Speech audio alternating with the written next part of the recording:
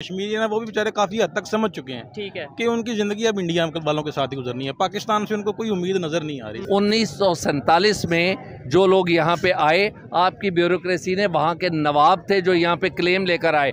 आज वो वो और उनकी औलादें मोटरसाइकिल रिक्शा चला रहे हैं मजदूरियाँ कर रहे हैं। ये आपके ब्यूरोक्रेटिक निज़ाम का नतीजा है। यानी इंडिया में उस एरिया में वो नवाब थे। वो नवाब थे उनकी हज़ारों लाखों एकड़ ज़मीन और उनके यूनिट्स जब यहाँ लेकर आए आज तक इस ब्यूरोक्रेसी ने उनको उनका हक नहीं लेने दिया। ज़्यादातर इंडिया को सपोर्ट करते हैं। ये देखें ये क्या बात हुई ठीक है। एक- नहीं नहीं उसकी वजह पता क्या है? हाँ। बात ये होती है कि आपका जो मुल्क होता है ना उसको जो लीड कर रहा होता है ना लोग आवाम को खुश करने के लिए करते हैं ना। खास तौर पे कश्मीरियों को हमने ये दिखलावा दिखाया हुआ है कि जी हम आपके साथ हैं। लेकिन ऐसा कोई अरब इन्फ्लुएंसर अमजद ताहा ने इंडिया साइड कश्मीर का विज़िट किया। वहाँ पे जाके व्लॉगिंग की और बच्चों पे जो वहाँ के बच्चे थे उनसे बात की उनसे पूछा कि आप कौन हैं? तो उन्होंने कहा कि वही यार इंडियन कश्मीरीज इसके अलावा बहुत ज़्यादा अप्रिशिएट किया गया जी ट्वेंटी के वेन्यू को लेकर और बहुत सी चीज़ें उन्होंने अपने व्लॉग में डाली जो कि अब पाकिस्तान में इंडिया में सोशल मीडिया में बहुत ज़्यादा वायरल पाकिस्तान इस टाइम जो जिस पोजीशन में खड़ा है जो इस्लामिक कंट्रीज़ हैं ख़ास तौर पे अगर सऊदीया की बात करें यूएई की बात करें क्या ये आपको लगता है हमारे साथ इस टाइम पे खड़े हैं? नहीं बिल्कुल भी नहीं। आप क्या कहेंगे? नहीं मुझे भी नहीं लगता ये हमारे साथ खड़े क्योंकि असल में हमारे जो सियासतदान है वो खुद भी जो है वो इस बात पे मुतफिक नहीं है एक साथ नहीं दे रहे। तो जब हम लोग खुद नहीं साथ देंगे तो फिर वो कैसे साथ देंगे बिल्कुल मेन इशू ये है जब हम लोग अपने लिए सिंसेर नहीं है दुनिया का कोई कंट्री कैसे सिंसेर होगा वो मुस्लिम हो या नॉन मुस्लिम हो खास तौर पर अगर जो एक इशू हम कहते हैं कि पूरी दुनिया कश्मीर के इशू में पाकिस्तान के खास तौर पे इस्लामिक कंट्रीजों से साथ खड़े हैं आपको क्या लगता है? आज 2023 में सऊदीया यूएई ये कंट्रीज़ कश्मीर के इशू में भी पाकिस्तान के साथ खड़े होते नज़र आ रहे हैं? नहीं मुझे तो नहीं यार अगर ये साथ खड़े होते तो अब तक मेरे ख्याल से कश्मीर जो है वो ज़रूर आज़ाद हो जाता है। पाकिस्तान भी कश्मीर के इशू पे जो वो स्टैंड नहीं कर रहा है इस टाइम तो जो हालात नज़र आ रहे हैं बाकी दुनिया हम को। हम ये पाँच कभी पाँच अगस्त को इस तरीके से रैली निकालते हैं कि भाई आर्टिकल 370 हटा दिया गया तो ये हो गया। कभी पाँच फरवरी को कश्मीर डे मनाते हैं और कश्मीर कश्मीर जब भी कोई इलेक्शन आता है बात तो हम असल करते में हैं। ये तो सिर्फ़ एक अपनी आवाम को खुश करने के लिए करते हैं ना। खास तौर पे कश्मीरियों को हमने ये दिखलावा दिखाया हुआ है कि जी हम आपके साथ हैं। लेकिन ऐसा कोई मामला नहीं है वो बेचारे हमें मरी जा रहे हैं पिस रहे हैं। हाँ, हाँ। हमारी कोई सपोर्ट नहीं है कश्मीर के अच्छा, साथ ये सिर्फ़ दिखावा है अभी खबर ये है कि एक अरब इन्फ्लुएंसर है जिसका नाम है अमजद ताहा। वो इंडिया साइड कश्मीर में गए हैं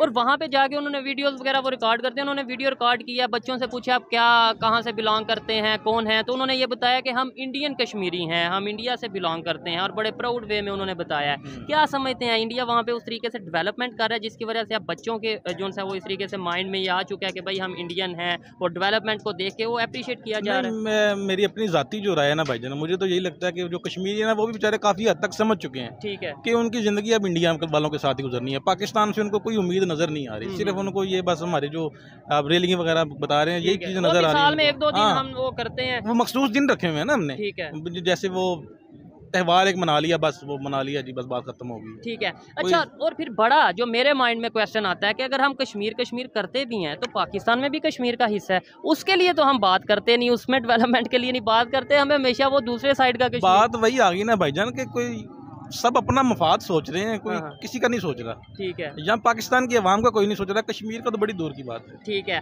आने वाले टाइम में अगर पाँच साल बाद की बात करें दस साल बाद की बात करें आपको क्या लगता है वहाँ पे जिस तरीके से डेवलपमेंट की जा रही है टूरिज़्म को जिस तरीके से वहाँ इंडिया साइड कश्मीर में प्रमोट किया जा रहा है आने वाले टाइम में वो लोग हमारे यहाँ के लोगों की आज़ादी की बात करते नज़र आएँगे क्या क्या इस तरह?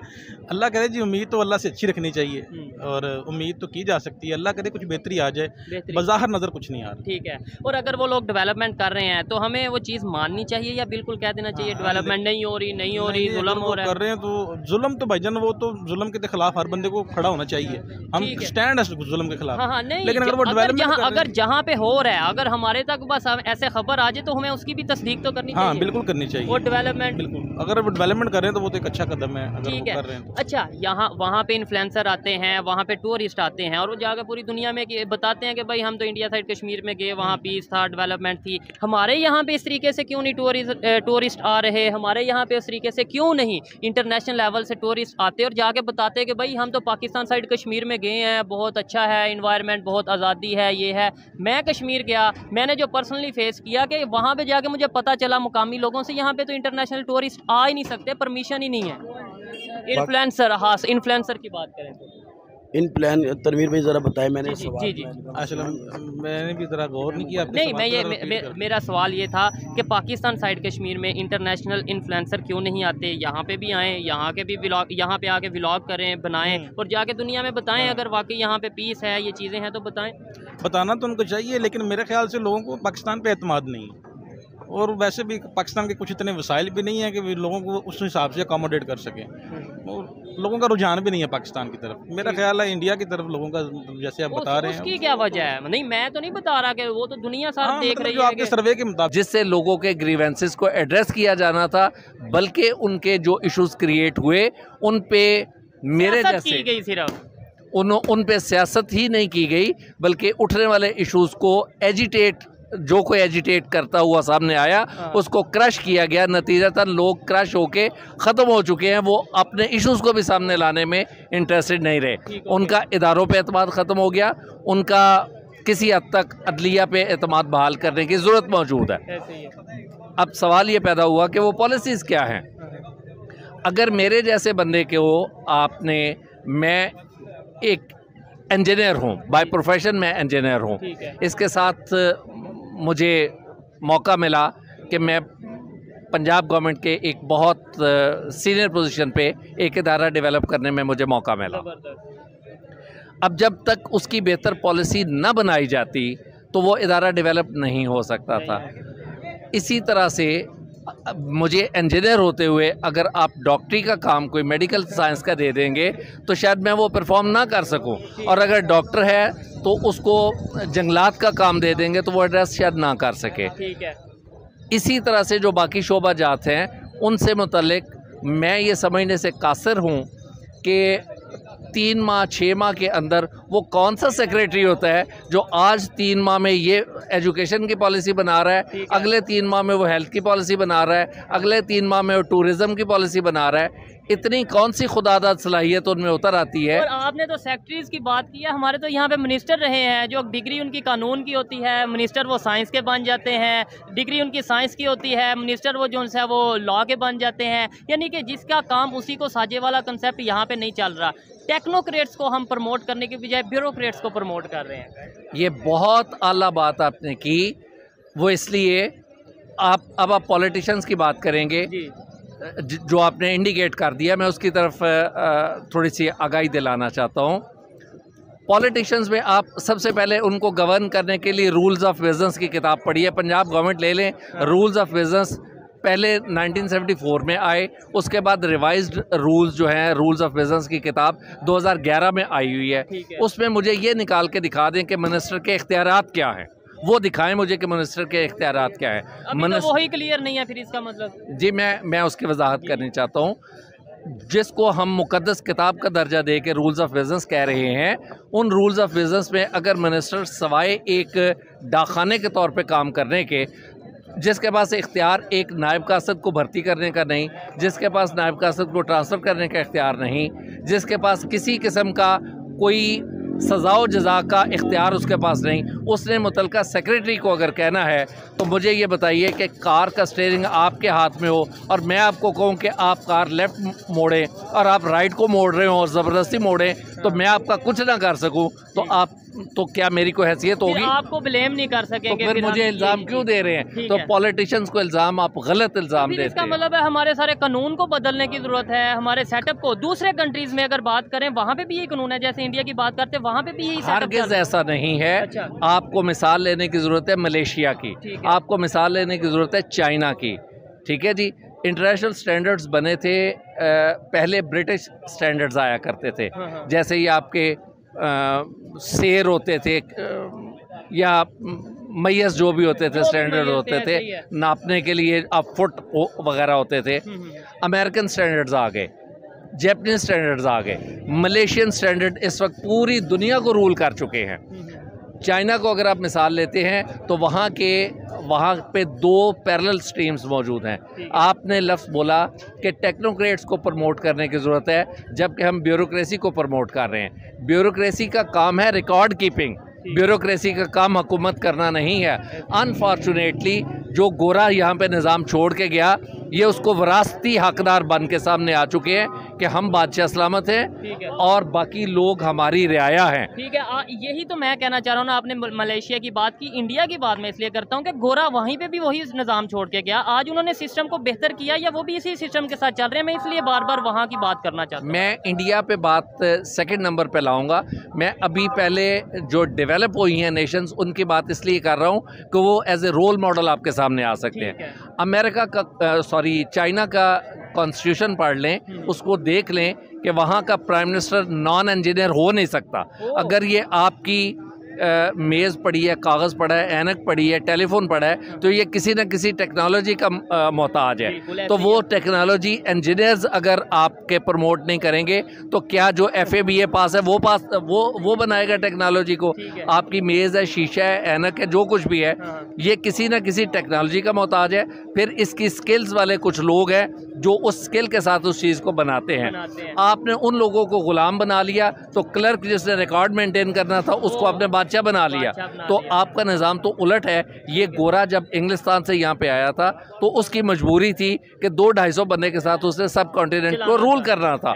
तो उसने उस बदमाशी का मुजाहरा किया कौ बॉय की तरह यू रिंग फेंका और जिसको चाहा उसके गले से खींच के और उसको आ चाहे उसको साथ में ला लिया चाहे उसको सज़ा का मुस्तक करार दे दिया। हम्म, हम्म। तो आज अगर आप छिहत्तर साल से वही निज़ाम चला रहे हैं तो वो यहाँ से पैसे अपनी डेवलपमेंट के लिए ले जाता था। तो आज आप इसका मतलब है ये कर रहे हैं कि इस कौम के रिसोर्सेज जो हैं वो आप इकट्ठे करके बाहर ले जा रहे हैं। तो इस कौम को मकरूज करते हुए आज आप कभी कहते हैं आईएमएफ की तरफ़ जाएँ कभी आप कह रहे हैं कि ओआईसी को देखें कभी कहें ब्रादर मुल्क आपस में नहीं मिल रहे तो अपनी पहले प्रॉब्लम आइडेंटिफिकेशन कर लें उस सिस्टम को ठीक कर लें हाँ, हाँ। फिर रास्ता देखिएगा कि आपकी मदद के लिए आना कौन चाहता है। ठीक है। सर की बहुत सी बातें मुझे अच्छी लगी लेकिन एक बात बहुत खूबसूरत लगी। उन्होंने सबसे पहले क्रिटिसाइज किया खुद को कि मेरे जैसे जो गवर्नमेंट ऑफिसर हैं एम्प्लॉय हैं उनकी बहुत बड़ी ज़िम्मेदारी है। मैं जिससे भी बात करता हूँ ये कहते हैं जी गवर्नमेंट की ज़िम्मेदारी कोई कहता है पब्लिक की ज़िम्मेदारी। लेकिन इन्होंने बोला कि भाई सबसे पहले मेरी यानी हम सब की ज़िम्मेदारी है।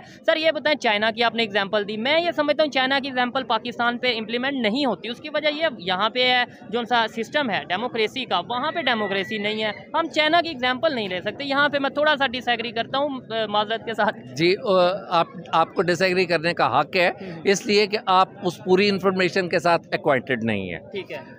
चुएन लाई ने जिस वक्त एक जहाज़ भर के बंदों का डबो दिया था हम्म। उसके बाद ये फैसला हुआ था मैं ज़्यादा पुरानी बात नहीं करूँगा मैं मिड एटीज़ तक इवन नाइन्टीज़ तक बात करूँगा कि चाइना की चीज़ें क्वालिटी वाइज पुअर थी इंडिया की चीज़ें और पाकिस्तान की चीज़ें उनसे बेहतर थी। अच्छा। मिसाल के तौर पे अगर आप जानना चाहते हैं तो सबसे छोटी चीज़ जो ये आम तौर पे आरी का ब्लेड छोटा सा एक आप देखते हैं। जी बिल्कुल। ठीक है जी? वी बेल्ट आप देखते हाँ। हैं। ये कोई चाइना का लेने को तैयार नहीं होता था। का लेते इंडिया और पाकिस्तान का लेते थे। और इनकी कीमत ज़्यादा थी चाइनीज़ प्रोडक्ट की कीमत कम थी। चाइना ने घर घर में लोगों को स्किल ट्रांसफ़र की। चाइना ने अपने इंजीनियर्स को बिठा के टेक्नोलॉजी ट्रांसफ़र की। टेक्नोलॉजी देने वाले इंजीनियर्स थे उसको इम्प्लीमेंट करने वाले साथ में टेक्नीशियंस थे जिन्होंने स्किल के साथ उन चीज़ों को क्वालिटी को डे बाय डे इम्प्रूव किया। दस बीस तीस सालों में वो यहाँ तक आ गए कि आज वो दुनिया को रूल करने चले गए हैं। है आप सिस्टम ऑफ़ डेमोक्रेसी या system of presidential form of government को डिस्कस इसलिए ना करें कि क्या आपको मुल्क की तरक्की रिक्वायर्ड है या आपने डेमोक्रेसी नहीं डेमोक्रेसी आपको चाहिए। आपको डेमो पंजाबी में बीट जिसे कहते हैं पूर्ण कहते हैं पूर्ण है, ठीक है? तो आपको पूर्ण चाहिए या आपको वाकई कोई निज़ाम चाहिए जो कौम की हालत बदल सके? तो अगर ऐसी सूरत हाल है तो उस सूरत हाल में आप बेहतर सिस्टम को ऑप्ट करें क्या वो ज़िंदा नहीं रह रहे? क्या वो रोटी नहीं खा रहे? क्या उनमें लोगों को मुआशी बे- हालात बेहतर नहीं मिल रहे? बिल्कुल मिल रहे हैं उनके उनके निज़ाम में ये बात लागू कर दी गई है कि नॉन इंजीनियर के फैसले को अगर मैं जूनियर इंजीनियर हूँ तो मेरे फैसले को रद्द करने के लिए सीनियर इंजीनियर रद्द कर सकता है। नॉन टेक्निकल बंदा मेरे फैसले को रद्द नहीं कर सकता। मेरा फैसला प्रायोरिटी रखेगा। जो उस फैसले पे अगर कोई गलत फैसला मैं करूँगा तो सजा और जजा का जवाब दे मैं हूँगा, ठीक है। बाकी अगर कोई नॉन टेक्निकल बंदा है यानी पॉलिटिशियन इसके ऊपर अपना फैसला नहीं दे सकेंगे कि ये जो बैठा हुआ है इसने ये पॉलिटिशियंस का लफ्ज मत बोले। हाँ, हाँ, हाँ। बोले जिस मेरे फैसले का रिकॉर्ड रखने के लिए जो क्लर्क थे वो क्लर्क एक ग्रेड से लेकर बाईस ग्रेड तक भी हो सकते हैं। तो वो वो जो रिकॉर्ड रखने वाले क्लर्क हैं है। अगर वो मेरे फैसले को अनडू कर दें हाँ। मुझे बताएँ मैं डॉक्टर होते हुए कहूँ कि ये आपको स्ट्रेंजेस चाहिए हाँ। ये आपको फलानी चाहिए इन्फेक्शन के लिए ख़त्म करने के लिए फलानी दवाई चाहिए आप या कोई और जो डॉक्टर नहीं है हम्म। वो मेरे फैसले को अंडू करके लिख दे ये नहीं मंगवाई जा सकती। तो क्या इन मरीजों को वो चीज़ें मिल सकती हैं? नहीं मिलेंगी। बजट कंट्रोल मेरे पास है। है। मैंने ब- अ, अ, अ, जो ब्यूरोक्रेट्स हैं उन्होंने डॉक्टर्स को उन बिल्कुल। हॉस्पिटल्स को देना मतलब right person at right place होना चाहिए। आपने बोला कि निज़ाम बेहतर होना पाकिस्तान या कोई भी कंट्री है वो, वो लोग बेहतर होने चाहिए पाकिस्तान बेहतर होना चाहिए चाहे वो डेमोक्रेसी का सिस्टम हो या प्रेसिडेंशियल फॉर्म ऑफ़ गवर्नमेंट हो। लेकिन यहाँ पे बड़ी तादाद में कुछ लोग ये भी कहते हैं कि भाई इस्लामी निज़ाम होना चाहिए शरीय निज़ाम होना चाहिए। असल में उन लोगों को आगाही ना होने की वजह से वो अपनी सोच के तहत वो भी ठीक कहते हाँ। हैं। कि जहाँ पे फौरी इंसाफ मिल जाए काजी अदालतों के ज़रिए वो चाहते हैं कि आज मुझे मसला हुआ है तो वो वो जो गोरे का निज़ाम है कि ये कागज़ लाएँ ये सबूत लाएँ जो हम नहीं कानून की बात नहीं है जो वहाँ पे इंसाफ देने की कुर्सी पे बैठा है जो काजी बैठा है काजी पे क्या ज़िम्मेदारी आयद है कि अल्लाह सबसे बड़ा है हाँ, हाँ। और अल्लाह के बाद नायब की हैसियत में इंसाफ करने के लिए बैठा है है अगर वो किसी किस्म का अगर वो किसी किस्म का नाइंसाफ़ी का मरतकब होता है तो वो उस अपनी ज़िम्मेदारी में ख़यानत कर रहा है जिसके लिए वो सज़ा का मरतकब है। लोग फौरी इंसाफ चाहते हैं इसलिए आपको इस्लामी निज़ाम की तरफ़ निशानदेही करते हैं। इसका मतलब कि अगर मतलब उनके मुताबिक या जो इस्लामिक निज़ाम है डेफिनेटली उसमें यही है कोई चोरी की करे तो उसका हाथ काट दिया जाए और इस तरीके से फौरी इंसाफ फौरी रिलीफ चाहते हैं। आपका ये जो सिस्टम है ये ब्यूरोक्रेटिक सिस्टम है। ओह, इसमें तो सालों साल आप एक केस के पीछे 1976 से ये लोग चंद बैठे हुए हैं डिस्कस कर रहे थे उन्नीस सौ सैंतालीस में जो लोग यहाँ पे आए आपकी ब्यूरोक्रेसी ने वहाँ के नवाब थे जो यहाँ पे क्लेम लेकर आए। आज वो वो और उनकी औलादें मोटरसाइकिल रिक्शा चला रहे हैं मजदूरियाँ कर रहे हैं। ये आपके ब्यूरोक्रेटिक निज़ाम का नतीजा है। यानी इंडिया में उस एरिया में वो नवाब थे। वो नवाब थे उनकी हज़ारों लाखों एकड़ ज़मीन और उनके यूनिट्स जब यहाँ लेकर आए आज तक इस ब्यूरोक्रेसी ने उनको उनका हक नहीं लेने दिया। बताएँ उनका हक कौन दिलाएगा? वो एक केस नहीं है हज़ारों केसेस हैं। एक सूबे में नहीं है चारों सूबों में है है। पूरे पाकिस्तान में है। ठीक हो गया। बताइए वो जो महकमे आपने बनाए वहाँ पे आपने नॉन टेक्नोक्रेट बिठा दिए वहाँ पे आपने नाइंसाफ़ी करने वाले लोग बिठा दिए इसकी ज़िम्मेदारी आप पॉलिटिशियंस पे कैसे डालते हैं? पॉलिटिशियन के पास तो मैं मैंने ये कहा कि रूल्स ऑफ़ बिज़नेस इसको मुकदस किताब का दर्जा देते हैं। उसमें मुझे ये दिखा दें कि मिनिस्टर के इख्तियार कुछ नहीं है उसका इख्तियार मुझे दिखाएँ कहाँ पे है? अगर इख्तियार ही कोई नहीं है तो उसको आपने गंदा करने के लिए रखा हुआ है। अगर गंदा करना है तो सिर्फ़ इल्ज़ाम उस पर लगा सकते हो। मेरे जैसे साथियों को सात पर्दे छुपाने के लिए आपने उसको रखा हुआ है क्योंकि एक मिसाल से वजाहत करूँगा। एक मोहतरम नाम है वो गुजरावाला के वज़ीर हुआ करते थे। हम्म। जी इंजीनियर साहब थे? नहीं उनके वालिद साहब हैं। ठीक है ठीक है। ठीक है जी? तो वो जब जी, जी, उनको वज़ीर बनाया गया तो सेक्रेटरी साहब उन्होंने मुतलका सेक्रेटरी से पूछा कि सेक्रेटरी साहब मुझे क्या करना है? हाँ। उन्होंने कहा जनाब आपके पास जो फ़ाइल आए हाँ। आप उस पर सीन लिख दिया करें। तो उन्होंने अल्लाह के फजल करम से इतने काबिल थे वो कि जब वो फ़ाइल आनी तो उसने उर्दू में सीन लिखना शुरू कर यानी दिया उन, उनका मतलब ये था कि हम मैंने देख लिया आप सीन लिख दें। जी सीन अंग्रेज़ी का उन्होंने कहा तो वो माशाल्लाह इतने काबिल थे। सच्ची बात है। जी सच्ची बात है। उन्हीं का एक और वाक्य भी आपके गोश गुजार कर देता हूँ। थोड़ा सा तलख माहौल को आसान कर दे ताकि थोड़ी उस पर थोड़ी सी एंटरटेनमेंट भी आ जाए। वो इतफाक़ से एक फ्लड लाइट टूर्नामेंट का अफ्ताह करने के लिए गए। उसका नाम गालिबा अतीक मेमोरियल कोई टूर्नामेंट था या कोई इस तरह का नाम था। तो जब वो मसूफ मिनिस्टर साहब वहाँ पे गए तालीम उनकी अल्हम्दुलिल्लाह बिल्कुल पूरी थी। तालीम से नाबल्द थे वो। ठीक है। तो फिर उन्होंने ये कहा ओ मुंडे हो ओ कदी साडा भी कोई मेमोरियल शमोरियल करा दिया करो यानी डेफिनेटली मेमोरियल तो जो म- जा चुके हैं इस दुनिया से उनके नाम के साथ मेमोरियल और कोई ट्रस्ट या क्रिकेट या जो भी है वो मेमोरियल उससे यूज होता है उन्होंने कहा हमारा भी करा दिया ਮੁੰਡਿਆਂ ਨੇ ਕਿਹਾ ਕਿ ਜਨਾਬ ਤੁਸੀਂ ਮਰਨ ਦੀ ਤਿਆਰੀ ਕਰੋ ਤੁਹਾਡਾ ਵੀ ਮੈਮੋਰੀਅਲ ਕਰਾ ਦਿੰਦੇ ਆ ਅੱਜ ਅਲਹਮਦੁਲਿਲਾ उनका बेटा भी वजीर है वजीर है बिल्कुल मैं जान चुका हूँ जिनकी अ, बात की जा रही है बहुत अच्छा लगा सर आपसे बात करके। बहुत शुक्रिया आपके टाइम का। और मोस्टली मैं आप लोगों से इस तरीके से नहीं पूछता कि यूथ को क्या करना चाहिए या मुझे क्या करना चाहिए, लेकिन मैं आपसे सर ज़रूर पूछूँगा कि देखें, मेरी भी बहुत सी जिम्मेदारियाँ हैं। मैं नौजवान नस्ल हूँ, पाकिस्तान के आने वाले टाइम में मैं समझता हूँ हमारे पे भी ज़िम्मेदारी है क्या ऐसा करूँ कि ऐसा करना चाहिए कि हम पाकिस्तान को बेहतर कर सकें, पाकिस्तान का इमेज बेहतर कर सकें? बेटे उसके लिए सबसे अहम बात यह है कि आप पूरी दुनिया की एक स्ट्रेटजी है पॉलिसी है कि आपकी two third of the nation जो है वो किसी न किसी स्किल में ऑल द टाइम इन्वॉल्व रहती है चाहे वो आ, किसी बिजली का स्विच लगा रही हो चाहे वो कोई कोई और काम कर रही हो स्किल कोई ना कोई पोजेस कीजिए उस स्किल के ज़रिए इस कौम की तरक्की में अपना किरदार अदा कीजिए। और हक हासिल करने के लिए अपनी ज़ुबान को सिर्फ़ खामोश करके ये ना कहें कि जी हम क्या कर सकते हैं।